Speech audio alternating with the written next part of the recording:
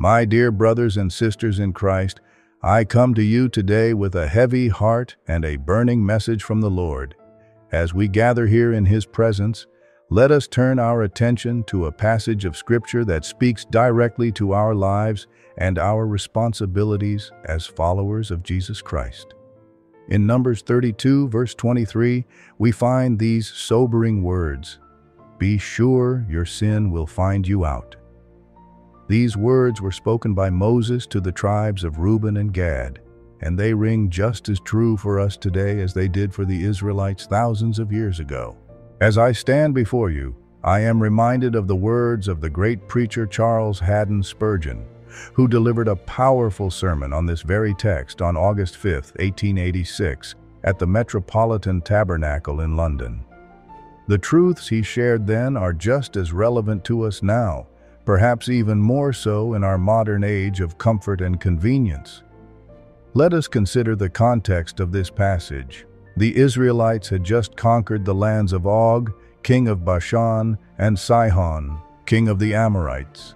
The tribes of Reuben and Gad, seeing the rich pastures of this newly conquered land, approached Moses with a request. They asked to settle in this land east of the Jordan, rather than crossing over with their brethren to fight for the Promised Land.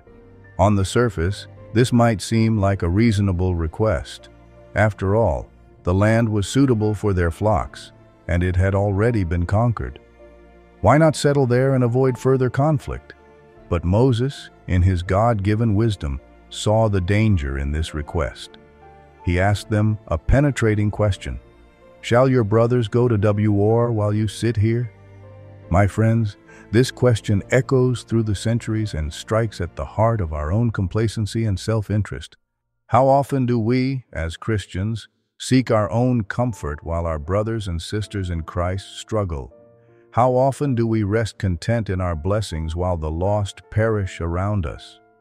As we delve deeper into this passage and Spurgeon's insights, we must first understand the nature of the sin being addressed. This is not a sermon about the obvious sins that we so often condemn, murder, theft, or lying. No, this message strikes at something far more subtle and perhaps even more dangerous, the sin of doing nothing. It is a sin of omission, a failure to act when action is required, a neglect of our duty as followers of Christ. This sin is particularly insidious because it is the sin of God's own people. It is not the sin of the Egyptians or the Philistines, but the sin of those who claim to belong to the Lord. My dear friends, this message is for us, for you and for me. It is for all who profess the name of Christ, all who claim to be part of His church. We must examine our hearts and ask ourselves, are we guilty of this great sin of doing nothing? Consider the tribes of Reuben and Gad. They were not proposing to do anything explicitly wrong. They simply wanted to settle in a land that seemed good to them but in doing so they were shirking their responsibility to their brethren and to God. They were saying, in effect, we have our portion, let the others fight for theirs. Is this not the attitude we sometimes adopt in our own spiritual lives? How many of us are content to enjoy the blessings of salvation, to bask in the comfort of God's love, while doing little or nothing to advance His kingdom? We attend church, we read our Bibles, we pray for our own needs, but do we actively engage in the spiritual warfare that rages around us?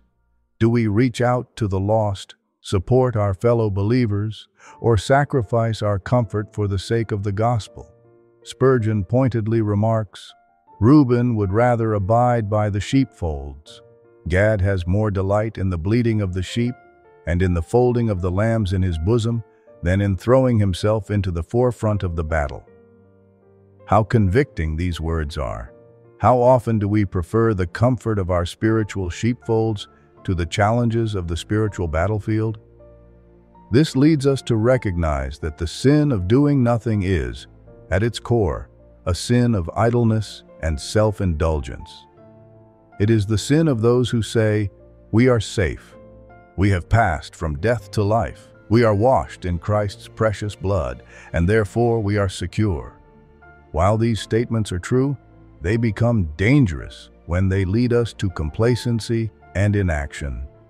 My brothers and sisters, our salvation is not meant to be the end of our spiritual journey, but the beginning. It is not a license for spiritual laziness, but a call to action. As the Apostle Paul reminds us, we are saved by grace through faith, and this is not our own doing. It is the gift of God. But he goes on to say that we are God's workmanship, created in Christ Jesus for good works, which God prepared beforehand, that we should walk in them. Yet how often do we see this sin of idleness manifested in our churches? On Sundays, Many come to be well fed spiritually, looking for sermons that will nourish their souls. But the thought does not occur to them that there is something else to be done besides feeding. Soul saving is pushed into the background. The crowds are perishing at their gates. The multitudes with their sins defile the air. The age is getting worse and worse. And yet these people want pleasant things preached to them. They crowd to spiritual feasts, delighting in sermons, conferences, and Bible readings, but regular service in ordinary ways is neglected. Not a hand's turn will they do. They put on no armor, they grasp no sword, they wield no sling, they throw no stone. Having received their portion, they sit down in carnal security, satisfied to do nothing. They neither work for life nor from life. They are errant sluggards, as lazy as they are lawless. But let us be clear, my friends. The sin of doing nothing is not a small matter. It is, as Spurgeon says, about the biggest of all sins, for it involves most of the others. It breaks both tables of the law and has in it a huge idolatry of self, which neither allows love to God nor man. It is a horrible idleness from which we must pray for God to save us. Moreover, this sin of doing nothing is also a sin of selfishness. The tribes of Gad and Reuben were essentially saying, What about us? We must look to ourselves. Is this not the attitude we sometimes adopt? Every man for himself and God for us all, as the proverb goes. But this is not the way of Christ. This is not the heart of the gospel. I am reminded of the story of Cain, who, when questioned about his brother Abel, responded, Am I my brother's keeper? The answer, my friends, is a resounding yes. We are indeed our brother's keeper. Every man is either the keeper of his brother or the destroyer of his brother. Murder can be wrought without an act or even a will. It can be and is constantly accomplished by neglect. Consider the millions in our cities who are unevangelized. Who is guilty of their spiritual starvation? Are not idle Christians starving the multitude by refusing to hand out the bread of life? Is this not a grievous sin? Some might argue they can conquer the land themselves. God is with them, and he can do his own work. Therefore, I do not see that I need trouble myself about other people. But this is selfishness, and selfishness is never worse than when it puts on the garb of religion. Think of a boy at school who selfishly feeds himself upon his luxuries and gives nothing to his young companions. He is generally their ridicule, the greedy boy whom all despise. Or consider a man with large stores who, in time of famine, would feed himself but never think of the poor. He is despised among men. But what shall we say of the man who, concerning the things of the soul, concerning heaven and hell and Christ and eternity, is so selfish that being saved himself, he cares not one jot for others. Such a person is so unbrotherly that I am half afraid he is no brother at all. He is so inhuman that I can scarcely think a touch of the life of Christ has ever quickened him. How can he be a Christian who is not like Christ? How can he claim to follow the one who gave his life for others, yet feel, well, I'm all right, and if I look to myself, other people must look to themselves. God will see to them all, no doubt. I have nothing to do with it. My dear friends, unless we shake off this horrible selfishness and realize that the very essence of our religion lies in love, and that one of the first fruits of it is to make us care about the salvation of our fellow men, we are in grave danger. The words of our text threaten us very solemnly, If you will not do so, behold, you have sinned against the Lord, and be sure your sin will find you out. But there is more to this sin of doing nothing. It is also a sin of ingratitude. Consider how we came to be Christians. Was it not through the faithful witness of those who came before us? We owe much to past ages and much to present laborers. There is no man among us who does not stand immensely indebted to the Church of God. Though God is our Father, the Church is our mother, and through her various agencies, we have been born to God. Do we acknowledge all this debt? Are we going to pay it? Or are we to receive all and then give out nothing at all? Are we to be like candles burning under bushels? Are we to waste our lives by much receiving and little distributing? This will never do. This is not life, but death. I do not charge this home upon anybody personally, but if this cap fits anybody, I pray let them wear it. If any man must acknowledge his obligation to the church of God, and yet is not repaying it, let him cover his face for very shame. Will you not hand on the light you have received? Verily you deserve to perish in darkness if you will not. Are you fed? And will you not break your bread to the hungry, or pass a cup of cold water to the thirsty? What are you, strange and great, that you should simply be a stagnant reservoir, into which streams of mercy shall flow, never to run out of you again, but to stand and putrefy in selfishness? Remember the Dead Sea, and tremble lest you be like it, accursed and cursing all around you. O God, have mercy upon the great mass of professing people to whom this must be solemnly applied, that they receive but give to you and to your cause so little, either of time, substance, talent, prayer, or anything else. Now let us consider what the chief consequence of this sin is. Moses tells us plainly, Behold, you have sinned against the Lord. This is the peculiar atrocity of their sin, that it would be leveled at God himself. We might be tempted to think that by not helping their brethren, they would be sinning against their fellow Israelites. But Moses looks beyond this to the greater offense, the sin against God. In this, Moses anticipated the confession of David, who, after committing adultery and murder, cried out to God, Against you, you only, have I sinned and done what is evil in your sight. To refuse to help their brethren would be disobedience to the Lord. Did he not command all Israel to drive out the Canaanites? In like manner, my friends, neglect of holy work is a positive sin against the Lord. It is disobedience against the Lord not to be preaching his truth if we are able to do so. Did not our Lord say, Go into all the world and preach the gospel to every creature? This command was not confined to a dozen or so, but was meant for all his people, as they have opportunity and ability. We who hear the gospel are bidden to proclaim it, for it is written, Let him who hears say, Come.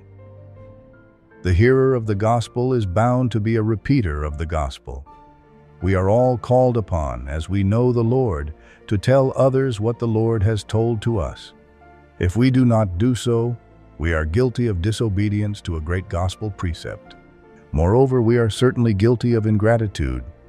If, as I have already said, we owe so much to other men and yet do not seek to bless mankind, we are ungrateful. But chiefly we owe everything to the grace of God. If God has given us grace in our own hearts and saved us with the precious blood of the only begotten, how can we sit still and allow others to perish? As we value our own salvation, we are under bonds to make it known. We rejoice to be in the kingdom of God. Should we not spend and be spent for the growth of that kingdom? He who does not bear arms in this war is a traitor to his sovereign Lord. There would be sin against God in the conduct of these people if they did not aid in the conquest of Canaan, for they would be dividing God's Israel. Shall the Lord's heritage be rent in twain? God meant them all to keep together.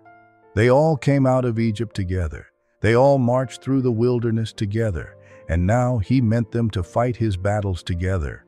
Were these to take their inheritance and abide among the sheepcotes and leave the other ten and a half tribes to go over Jordan and wage the war alone? This would be scattering the family of God. If it be that any of us are dividing the church of God, that is, dividing it into drones and workers, this would be a terrible division. I fear that it exists already. It is apparent to those who are able to observe, and it is mourned over by those who are jealous for the God of Israel. Half the schisms in churches arise out of the real division which exists between idlers and workers. Mind this, be not causers of division by being busy bodies, working not at all. If you are not serving the Lord, you are sinning against the sacred Trinity. You sin against our Father, who would have you do good and be imitators of him as dear children. You sin against the Son of God, who has bought you with a price that you might be zealous for his glory. You sin against the Holy Ghost, whose impulses are not to sleep and idleness, but to quickening and holiness. Now, we come to the most serious point. What will come of this sin of doing nothing? What will be its consequences? The answer is clear and sobering. Be sure your sin will find you out. These Gadites and Reubenites would be sure to be found out by their own neglect. Their sin would find them out to their shame and sorrow if they did not lend all their strength to their brethren according to their promise. It would find them out thus. They would be ill at ease. One of these days, their sin would leap upon their consciences as a lion on its prey. They would wake up and say, We were wrong. We were bound to have taken our share in that war. Every man among them that was good for anything would be troubled in heart because he had failed to do his duty in the hour of need. He would feel uneasy. He would not want anybody to point him out with the finger, but he would point himself out. He would say to himself, I failed in that case. I know I did. I acted very wrongly. I ought to have been with Joshua, chasing out those Canaanites. I received my own portion of the land, and I ought therefore to have helped others to win their portions. When conscience was thus aroused, they would also feel themselves to be mean and despicable. As king after king was conquered, and the notes of victory were heard all over Canaan, they would think themselves mice rather than men, to have shunned so glorious a conflict. They would feel disgraced by their own inaction. Their manhood would be held cheap by the other tribes. In fact, they would become a byword and a proverb, as men do who are notoriously greedy and selfish. Surely it is an intolerable disgrace to anyone to profess to be a man of God and to have no care about the souls of others while they are perishing by millions. More than that, the tribes who went not to the war would be enfeebled by their own inaction. God would have his people learn war, but if these men did not go to the fight, they would not be soldiers, and they would not be able to take care of themselves when their land was invaded. How much of sacred education we miss when we turn away from the service of God. I believe that no man understands salvation so well as the man who, having tasted it for himself, has also preached it to those about him. If you want to know the evil of the human heart, try to do good to the unconverted and endeavor to guide the unbeliever to Jesus. Get a dozen girls around you, my sister, and watch the workings of their hearts as you seek to lead them to Christ, and you will learn much more than you knew before. My dear brother, gather a number of youths about you and observe their feelings and conduct while you seek their conversion.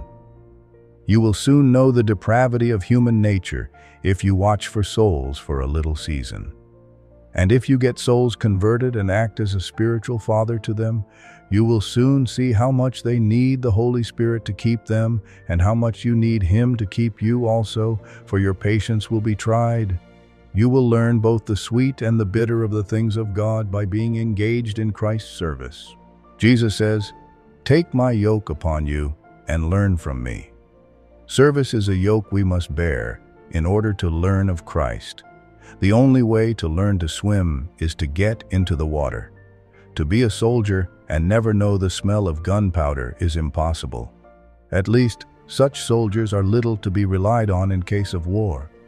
No, no, our sin, if we do nothing, will find us out in our being enfeebled, in our being disgraced, in our feeling that we are mean, and in the accusation of our conscience. Let us find this sin out and shake ourselves free from it before it finds us out. Their sin would also have found them out had they fallen into it because they would have been divided from the rest of God's Israel. If they had not gone across the Jordan to fight, the ten and a half tribes would always have said, What have we to do with you? The Jordan rolls between us, and so let it do. We do not want any connection with those who acted so basely to us in our hour of need. They would practically have cut themselves off from union with the Israel of God, and they would have secured to themselves the loss of all fellowship with earnest men. Those who are non-workers lose much by not keeping pace with those who are running the heavenly race. The active are happy, the hand of the diligent makes rich in a spiritual sense. There is that withholds more than is meet, and it tends to poverty. I am sure it is so in a spiritual sense. To come more practically home, brethren beloved, if you and I are not serving the Lord, our sin will find us out.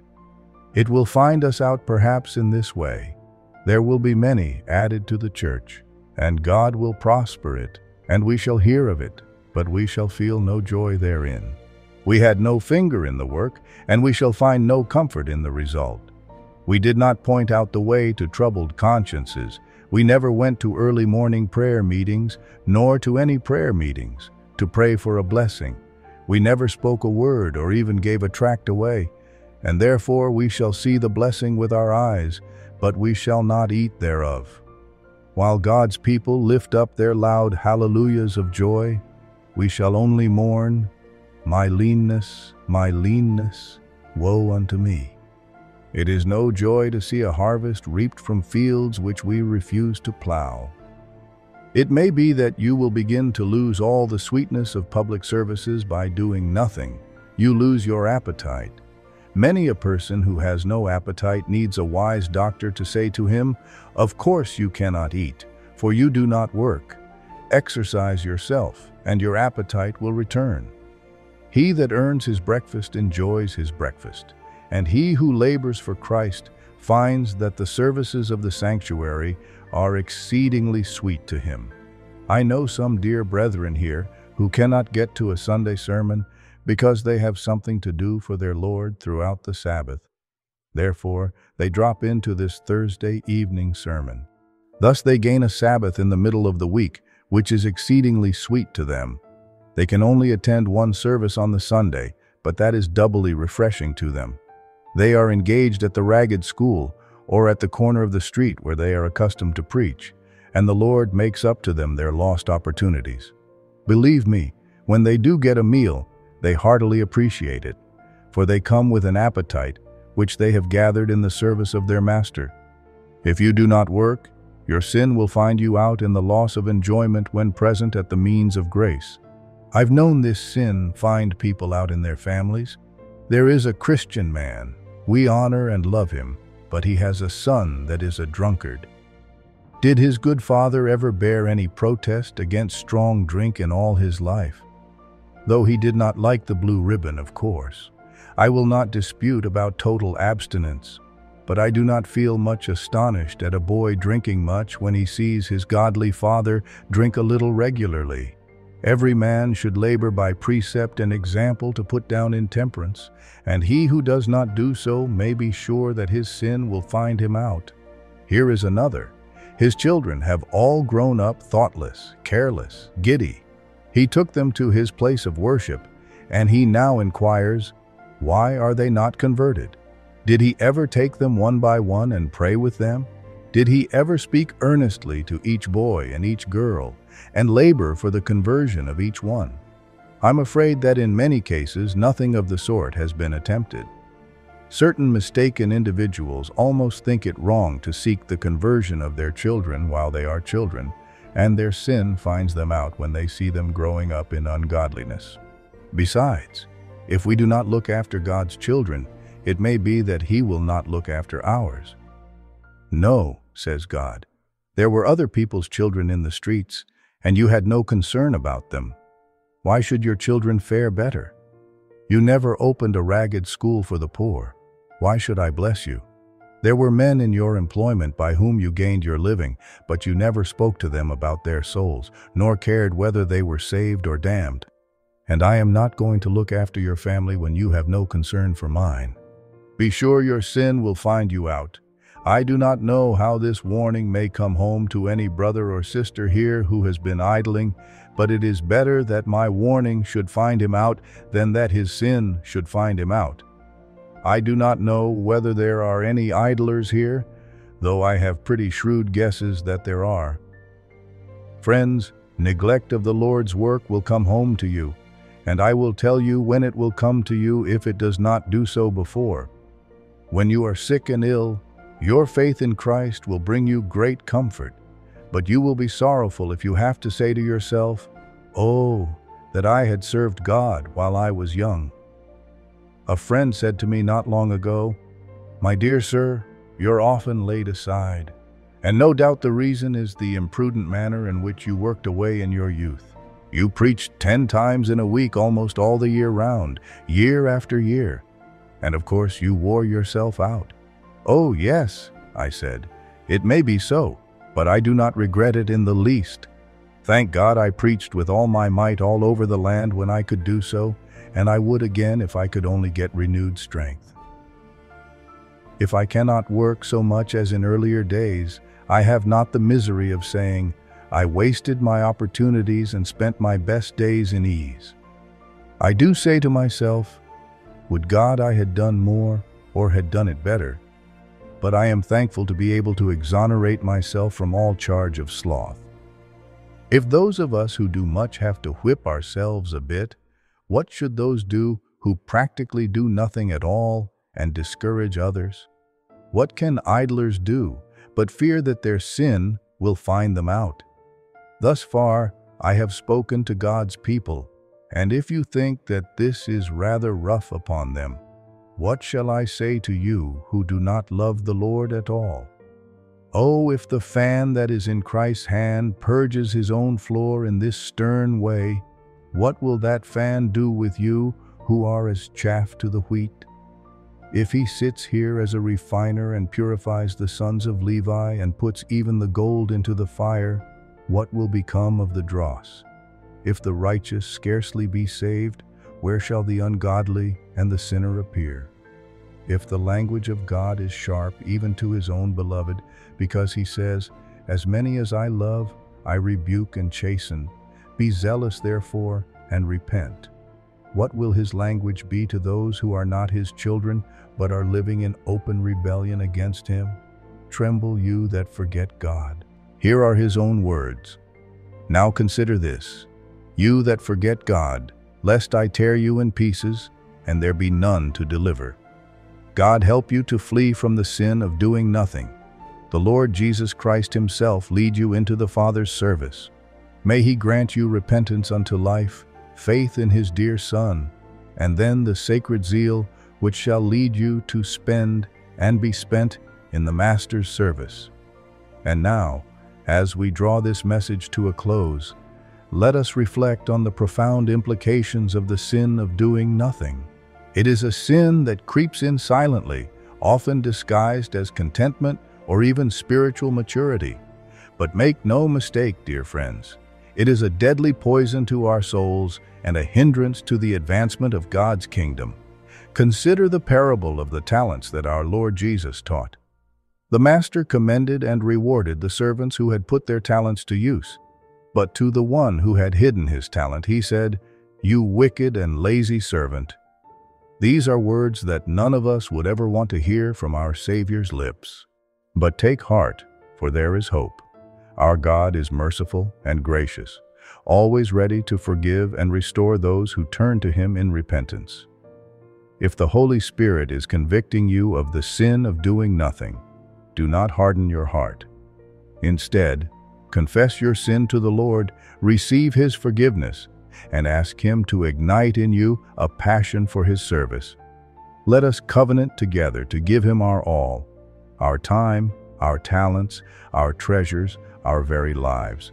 For in the end, we will discover that it is in losing our lives for his sake that we truly find them. The needs are great, the time is short, but our God is mighty. Let us go forth from this place with renewed zeal, determined to be active participants in the great work of God's kingdom. May the grace of our Lord Jesus Christ, the love of God the Father, and the fellowship of the Holy Spirit be with you all as you go forth to serve Him.